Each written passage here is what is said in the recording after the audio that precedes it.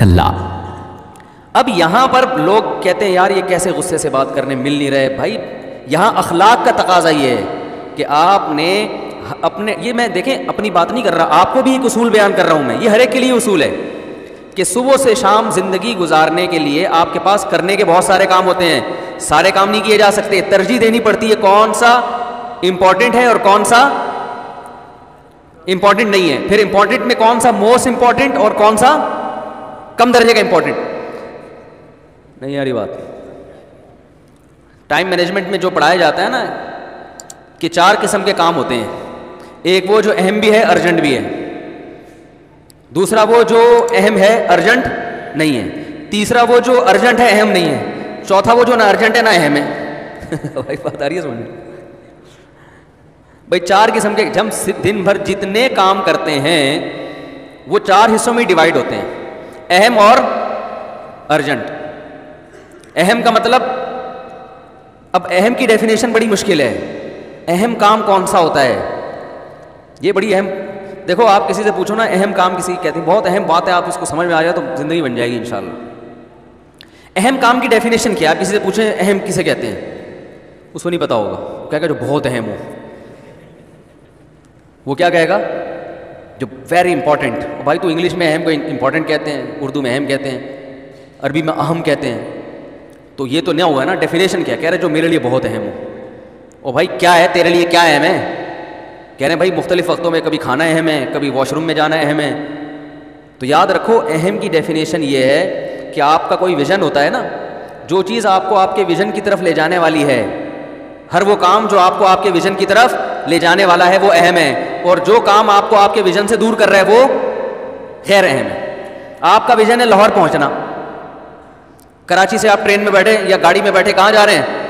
Vision क्या है, मंजिल क्या है लाहौर? तो फिर आपके लिए लाहौर का टिकट कराना, ट्रेन का या जहाज़ का या बस का, ये अहम है। समझ में आ रही है बात? और एक आदमी जिसने जाना कोयटा है उसके लिए लाहौर का टिकट कराना या आपके टिकट में दिलचस्पी लेना कि कहाँ का तू कहाँ जा रहा है? या उसमें दिलचस्पी लेना तूने कहाँ का टिकट कराया, कितने का कराया? ये क्या है? टाइम वेस्टिंग है ना गैर है। मैं ओ भाई, तूने जिधर जाना है तो उधर की फ़िक्र करना। क्या क्या ख्याल है? तो हर आदमी का एक विजन होता है, एक हदफ होता है, मैंने यहाँ पहुँचना है। तो हर वो चीज़ जो उसको हदफ तक पहुँचाने वाली होगी, वो क्या कहलाएगी? अहम कहलाएगी, जो उसके हदफ से रोकने वाली होगी वो गैर अहम या हदफ तक ना पहुँचाए, रोकने वाली भी ना हो, वो सब गैर अहम है। और अर्जेंट का मतलब ये होता है कि भाई, अभी नहीं हुआ तो बाद में नहीं होगा। अभी नहीं हुआ तो बाद में, ये मैं देसी स्टाइल में समझा रहा हूँ, अभी नहीं हुआ तो बाद में नहीं हो सकता। हम ये कहते हैं कि जो काम अभी नहीं हुआ, बाद में नहीं हो सकता, लिहाजा कर लो अभी। तो भाई, अगर बाद में नहीं हुआ तो क्या हो जाएगा? ये देखो कि अहम भी है या नहीं है। समझ आ रही है बात? भाई, जो काम अभी नहीं हुआ, जैसे गुटके की दुकान बंद हो जाएगी, अभी नहीं मिला तो। तो बंद होने दो। ये आपके लिए अर्जेंट तो है लेकिन इंपॉर्टेंट बोलो ला भाई, नहीं है। तो हम अर्जेंसी को देख रहे होते हैं कि यार, अभी नहीं हुआ तो बाद में नहीं होगा तो बस कर लो। भाई, अभी नहीं हुआ तो बाद में नहीं होगा, ये ना देखो, ये देखो, ये करने का काम है भी कि इंपॉर्टेंट भी है या नहीं है? फिर इंपॉर्टेंट में ये देखो कि जो अर्जेंट है, उनको पहले निपटाओ, जो अर्जेंट नहीं है, उनको बाद में निपटा दो। और जो अर्जेंट भी नहीं है इंपॉर्टेंट भी नहीं है, उनको एक तरफ़ रखो।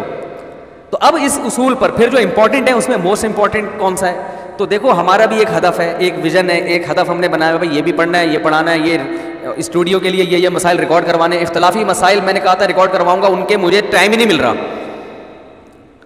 बहुत सारे इख्तलाफी मसाइल हैं जिनमें बड़ा उम्मत में फ़िरकवारियत फैलाई गई है। मैंने कहा एक एक हदीस को सामने रखकर पूरा हवाला, किताब लेके बैठो, दरवाज़ा बजा रहा है कोई। जी, वो मसला ये है कि जी, वो मैं आपसे बहुत ज़रूरी काम से मिलने आऊँ भाईजान, मैं नहीं मिल सकता। नहीं, आपने तो मिलना है, भाई, देखें अब मसला ये होता है, दूसरे ओलमा जितने हैं, उनका तो लोगों को पता ही नहीं होता वो है कहाँ। मैं तो रहता हूँ भाई यहाँ पे तो सबको पता है ये इनका घर है, ये ये वाला है, पता ये थोड़े से कन्फ्यूज़ होते हैं कि ये वाला है कि वो वाला है। तो वो कन्फ्यूज़न दो तीन दिन की तहकीक में दूर हो जाती है ना इनकी। तो फिर वो दरवाज़ा बजा के वो फिर पकड़ाई में आ जाते हैं हम लोग। तो अब उसूल ये है कि देखो, अपनी अपना भी ये उसूल बनाए। देखो, मैंने अभी सईद अनवर को फ़ोन किया एक शादी में दावत के लिए, परसों की बात है। हमारे एक दोस्त हैं, उनके बेटे का वलीमा है। तो मैंने सईद अनवर को फ़ोन किया, मैंने कहा, वो सिफारिश कर रहे हैं, मेरे ज़रिए से आप उनकी दावत में आ जाए। उन्होंने कहा, मैं नौ बजे के बाद सो जाता हूँ। ज़मीन आसमान इधर से मैं नहीं जाता इल्ला ये कि कोई करीबी रिश्तेदार हो जिसकी रिश्तेदारी टूटने का खतरा हो। तो मुझे गुस्सा आना चाहिए था, क्या ख्याल है? मुझे आना चाहिए, यार, मैं मुफ्ती तारिक मसूद आपको बोल रहा हूँ, आप वलीमे में आओ यार, और आप बोल रहे हो मैं सो जाता हूँ। मैंने ना ऐसे वेल्डन तीन चार अंगूठे भेज दिए। मैंने कहा, ये हटो बच्चों आदमी। जिंदाबाद ऐसा ही होना चाहिए इंसान को, वरना दुनिया में किसी काम का जो भी जहाँ उठा के जा रहा है, तीन बजे ले जा रहा है, पराठे खिलाने के लिए तीन बजे निकल लिए उसके साथ। चार बजे जा रहा है कि जी, दोस्ती यारी में तो चारों दोस्तों को खुश करते रहो एक धमाके के साथ फट के हलाक हो जाओ कुछ दिनों के बाद। यही होगा ना, जो बारह बजे वलीमा खाएगा और खा भी क्या रहा है, नान कोरमे के साथ। घी पूरा जमने वाला नसों में। इस वक्त तो दाल चावल भी खाओगे तो हजम नहीं होगा बारह बजे।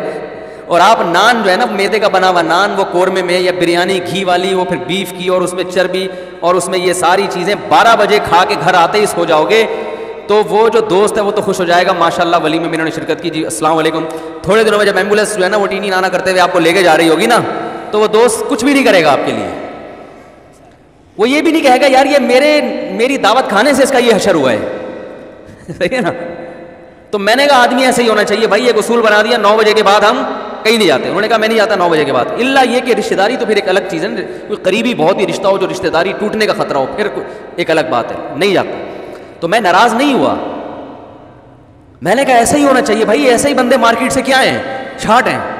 अगर सब ये करना शुरू हो जाए तो लोग अपने वलीमे की सेटिंग चेंज कर देंगे? भाई, नौ बजे, आठ बजे खाना होगा। सही है ना? क्योंकि कोई आता ही नहीं नौ के बाद। या दोपहर को। उन्होंने कहा, अगर कोई मेरा बहुत ही चहीता है ना जो चाहता है कि सईद अनवर ने लाजमी आना है तो फिर वो दोपहर को वलीमा करता है मेरे लिए। कि यार सईद अनवर को लाजमी बुलाना है, हम वलीमा कब करेंगे? दोपहर को करेंगे। मैंने कहा, यार, ये हटो, बच्चों, हो गया उस्ताद। लेकिन मुसीबत हमारे साथ यही है कि हम अखलाक के मारे हुए हैं ना। मैं अगर कहूँगा तो यार, ये मुफ्ती साहब हो गए, जनाब। मुफ्ती साहब हो गए, ऐसी बातें कर रहे हैं यार। तो वो, वही है, एक दिन मुफ्ती साहब बारह बजे शादी से आ रहे होंगे। ठीक है ना? और जी, मुफ्ती साहब का बयान, मुफ्ती साहब थे। मुफ्ती साहब हुआ करते थे, कोरमे की नज़र हो गए बेचारे। तो आदमी को इन चीज़ों में मज़बूत होना पड़ता है, मज़बूत। वजह उसकी है कि आपने पहले ये देखना है देखो तबलीग हमारा, मेरा भी विजन है कि दीन पूरी दुनिया में गालिब हो जाए, लेकिन मेरा जो तरीका होगा वो एक दूसरे का तरीका अलग होगा, मेरा अलग होगा, किसी और का अलग, हर आदमी का अलग तरीका होता है। किसी का तरीका ये कि उसने लोगों से मिलके सबको समझाना है, उसके लिए तो जितनी, वो तो चाहिए कि जो नहीं मुलाकात कर रहा है, उसके घर पे जाके निकाले, भाईजान, क्यों नहीं मुलाकात कर रहे हैं आप? और वो वो बिल्कुल ठीक है उनके लिए।